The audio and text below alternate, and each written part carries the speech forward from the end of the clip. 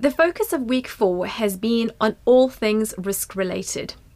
It is a good reminder that risks are inevitable and need to be dealt with throughout the project lifecycle.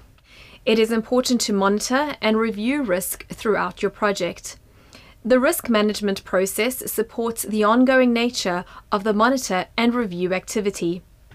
It is worthwhile to touch on three of the key risk management activities.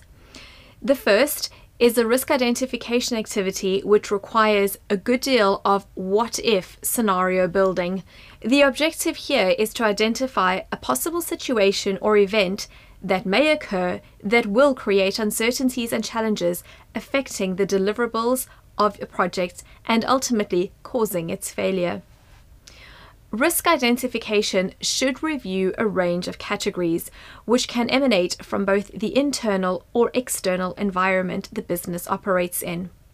Economic, organizational, political, technological, environmental, and legal are all potential categories to consider when identifying risks that may impact on your project. In addition, you should also think how the emergence of one risk might lead to risks in other categories or areas of your project. The next risk related activity is undertaking a risk assessment. Risk assessment involves assessing the likelihood of the risks that we have identified, as well as the possible consequence if that risk should eventuate.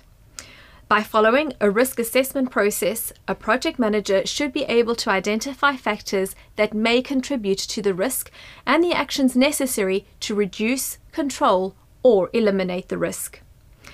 The risk response activity considers an appropriate risk response to the risk you have identified and assessed. Ideally, the best response would be to avoid the risk entirely. However, uncertainty and risk are part and parcel of most projects and remain variables that need to be managed.